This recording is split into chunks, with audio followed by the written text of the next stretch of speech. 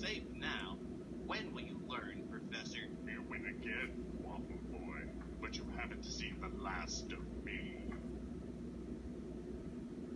That was a pretty solid run, I'm not gonna lie. Pretty proud of that.